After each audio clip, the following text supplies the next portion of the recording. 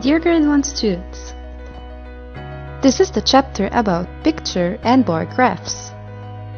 And in this lesson, we will learn about picture graphs.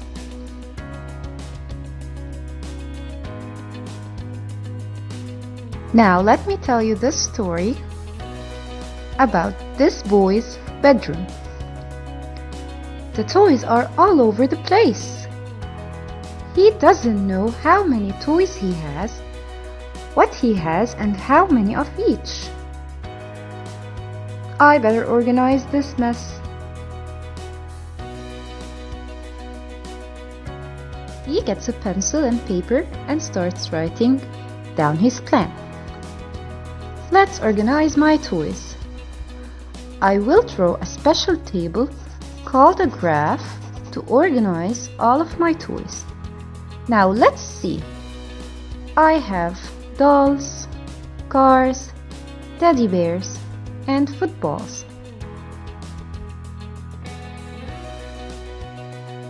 Now I will place similar toys together.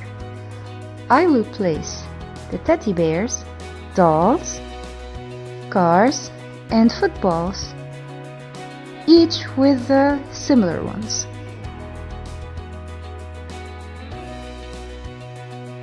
Now that my toys are all organized, I will get on with my graph.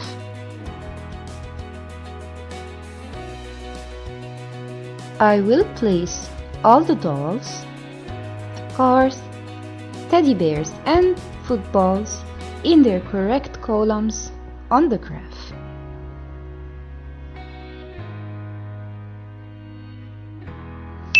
So now I know I use my picture graph to show my data in an orderly way.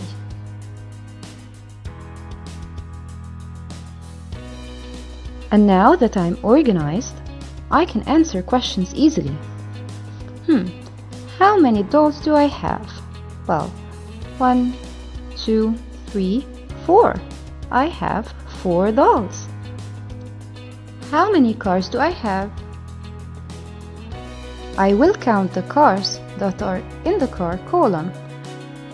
They are five cars.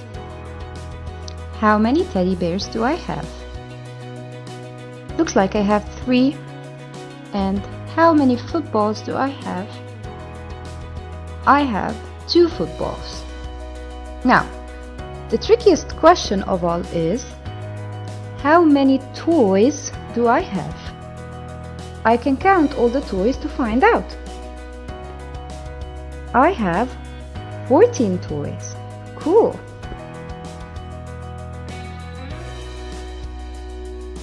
Now it's your turn to answer.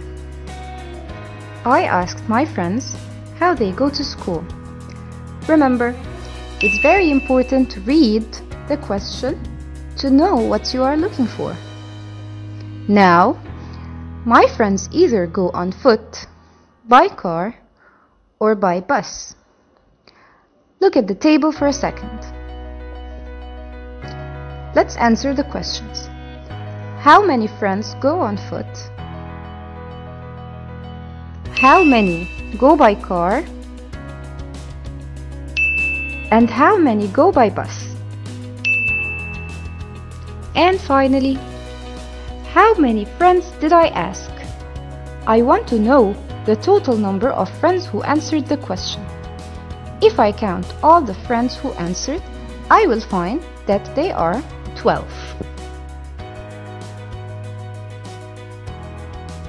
Thank you for attending this session. Hope you enjoyed and learned something new. See you next time.